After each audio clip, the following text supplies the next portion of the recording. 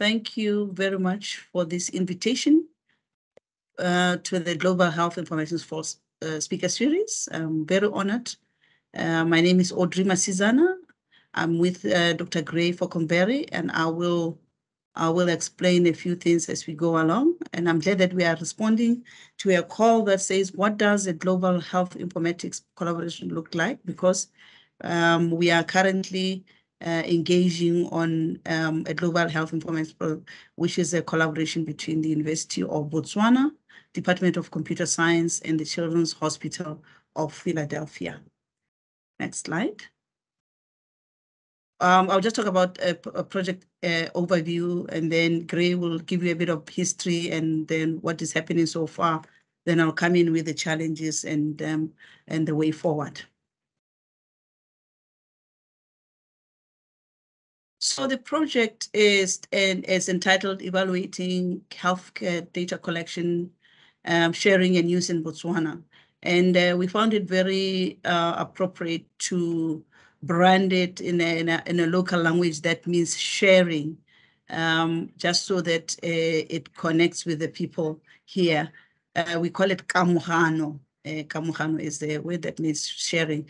And it's an intervention of technology and healthcare, which is what um, really uh, health informatics represents. And as I said before, uh, it's a collaboration between the University of Botswana and Children's Hospital of Philadelphia. Next slide.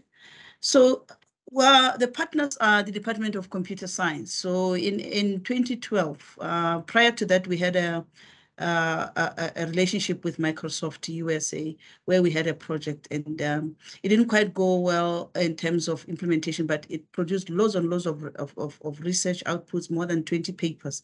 But we are not happy with the fact that when it came to um, uh, implementation, it didn't quite go well um, because we had not prepared uh, good collaborations um, with the Ministry of Health, especially, and so forth. So we decided to establish uh, uh, this unit, which will make sure that that doesn't happen again. And this unit is, is, is, is part of Department of Computer Science, and it's, it's supposed to link uh, between the health sector and provision of ICT solutions. And so far, we've had partners. We've been working on various projects uh, with the Minister of Health, uh, Botswana UPenn partnerships, Botswana Harvard partnerships, CHOP. The, we have done conferences, uh, health informatics conferences, and also we have uh, collaborated with USA. Next slide. It is important to, to, to, before we talk about our projects, that we know that in Botswana at the moment, um, the move is towards digitization and uh, looking back and uh, um, since 19, this 2005, um, I'm sorry, uh, we've had an ICT uh, policy and that ICT was talking about digital transformation in research, science and technology.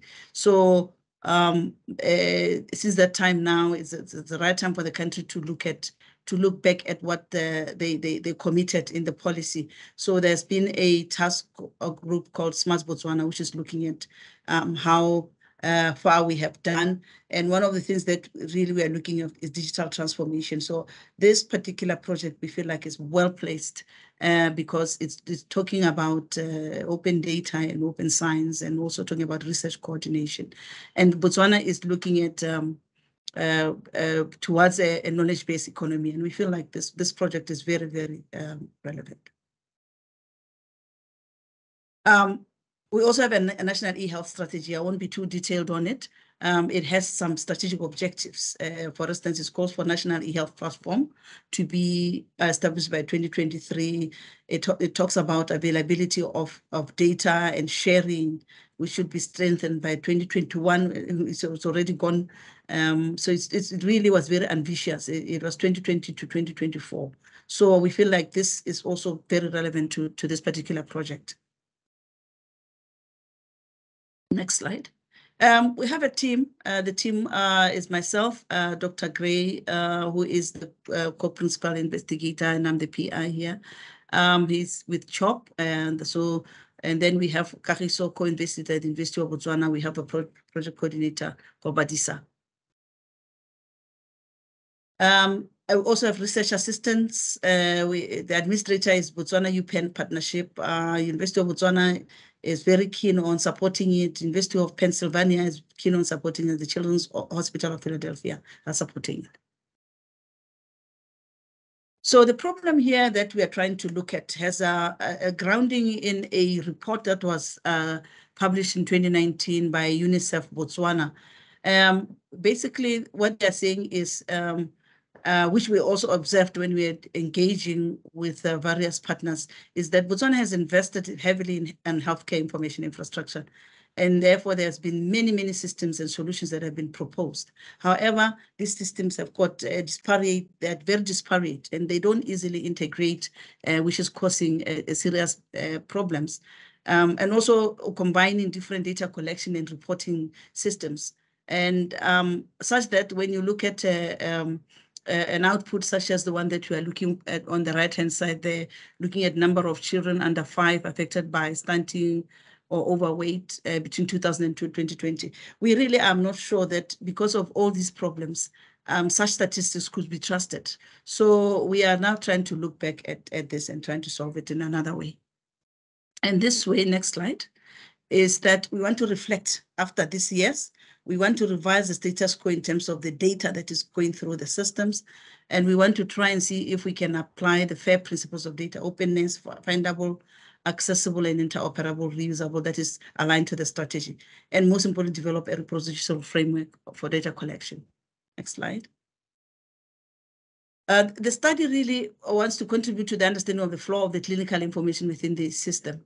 Uh, aim one is to understand how the, uh, the, the, the, flow of data comes from frontline uh, clinician uh, to the Ministry of Health, into the labs and back to that clinician. So we're very, very interested in that because we feel like uh, it's one of the things that will help us understand um, why, um, how, what is happening in all these disparate systems. And most importantly, to go along with that, the second aim is to examine the healthcare worker perceptions about the data collection. We feel that that, that is very, very important to understand how they are using the data and how they feel about the solutions that have been given to them. We particularly wanted to just use a smaller data set in order to focus and use child growth, and malnutrition, HIV, and TB testing.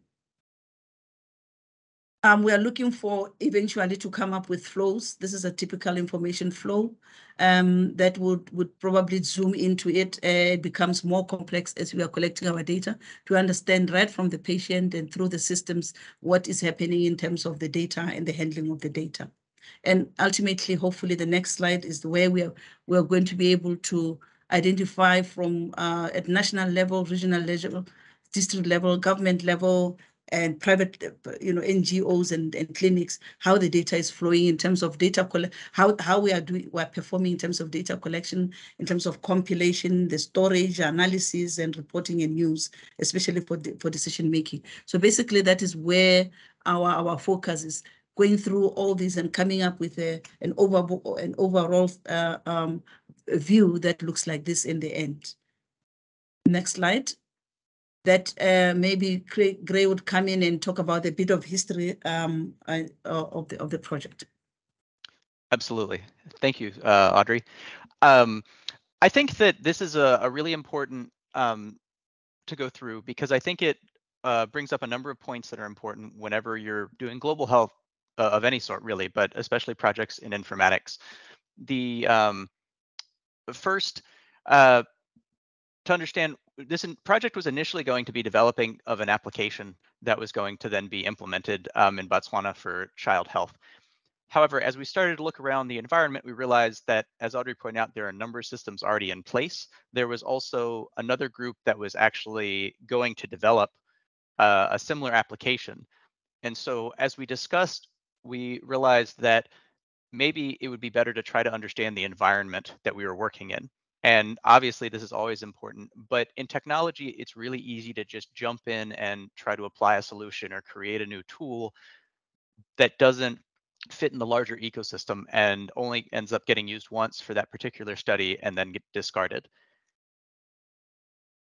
So after we decided um, that our project should be more data gathering and understanding of data flow and, and perception of technology, we applied for um, a global health pilot grant, which we were awarded. And then there was a lot to do with the IRB, both um, on the UB side um, as well as the Penn side. So as always, any of you who do research, I'm sure this will not be shocking, IRBs slow things down. Uh, there's good reason for that. They're incredibly important, but remember to build this into your planning and your timeline, especially when you're doing international collaborations. You often need multiple IRBs from multiple institutions that may or may not communicate particularly well.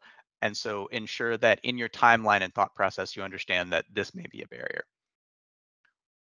After IRBs, we needed um, additional research permits from multiple groups and organizations, both within the country um, as well as outside.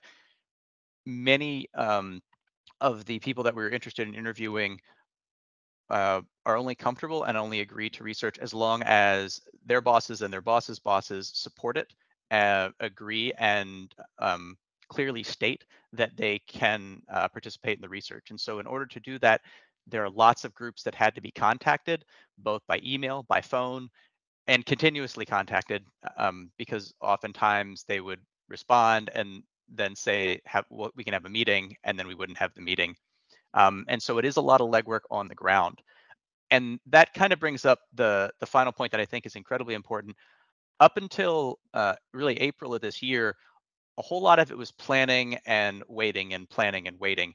And the the key from my point of view in terms of actually getting the project started um, and running forward was to identify research coordinators and assistants on the ground that live in the community and work in the communities that we're interested in. And again, I think this is the key to any sort of research project, but especially in global health and especially in informatics. I would even go so far as to say, um, although some people may disagree with me, but if you don't have local experts, champions, and coordinators that are really pushing your study forward, and instead there is someone from outside of the country that is um, leading your study, I think um, you should really uh, rethink and re-examine how you're approaching it. Uh, because I think in the long run, um, if it's not uh, supported um, and um, run by local experts, then then I think the longevity longevity of it uh, will suffer. So um, the road thus far and lessons learned. We already spoke about a couple of them as part of the history. Uh, this is the data collection space that we're working in. We are not trying to talk with all these facilities, but these could be any of the facilities um, that we're talking about. And so in order to collect um, the data, we had to start with community sensitization. And we haven't uh, even gotten to analysis yet. We are still, as Audrey mentioned, in the process. And sensitization, um, I thought was an interesting process because it does take a whole lot of time. And as I was saying, all of these organizations, we had to reach out to them. We had to speak with them. We had to explain what we're doing, ensure that their leadership understood what we were doing and why, and agreed that it was important uh, at that point we could go and you see one of these sessions here where we're speaking to some of the leadership and to some of the people we would be talking to about our project and ensuring that they understood our goals and what our deliverables were and so then they could disseminate that information amongst the people that, um, that worked underneath them so when we reached out to them they would then be willing to to speak to us so these are just some of the data collection features that we're looking for. Um, just some understanding about data as well as the data flow that Audrey mentioned previously. This is just some of the, the focus and some of the more researchy parts of it, which I think are a little more standard um, and not quite as interesting as some of the way that actually gets put into practice. And again, just uh, healthcare work perceptions. We're using REDCap because it is a, a system that most people in the world at this point are familiar with, at least that do research. Um, it's you know relatively cheap and easy to set up your own instance, and Botswana has been using REDCap for a long time. And these are just a couple pictures of um, some of our surveys. And I will pass it back to Audrey for the last part to talk about um, kind of the data we've captured so far and um, our challenges along the way.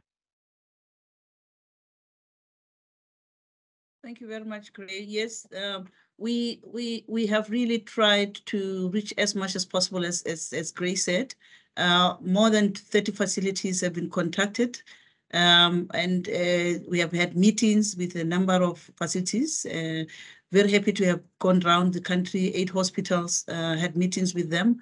Um, we also have district hospitals that are they are looking at usually there are smaller hospitals and then there's one big hospital in a, in a dis, per district or maybe one or two uh, so we've been happy to to at least uh, reach out to three uh, centers of excellence as well and uh, and that has led us to at this moment uh, really uh, progressed with more than 200 surveys done uh, we're still going on and hopefully it will be more next time we report. And we also have, have done some interviews and most of the, all of these are, were done um, uh, online um, with, with, by our research assistants. And that uh, did not go without uh, problems. Uh, we had so many uh, challenges. we had our, you know, IT equipment uh, we'd like to have online because there was uh, the project started when COVID uh, was still very much, especially the protocols were in place. We needed to be to align to that, but um, in rural areas, IT equipment uh, is is a problem. Uh, and in most cases, the leaders, as as Grace said, if you if the leaders did not allow, then the the the the, the people who are working for those leaders were finding it very difficult uh, to engage. Um, lack of internet uh, and also uh, permits, just getting permits was a problem. That's why we took almost seven months to get permits. Um, and also we realized that research seems to be foreign when you are you're coming with other solutions uh, and you're talking about taking it from the research point of view. People um, they want quick answers and they don't want you to start investigating because they feel like you're you're wasting time or something. So there's not a good reception in terms of uh, coming in as a researcher. Next slide, please. Yeah, yes, and participants also um, being uh, in the healthcare fraternity, they were always running around. You start a, an interview and halfway through a call comes in, they have to go and so forth. There are so many, so many such problems.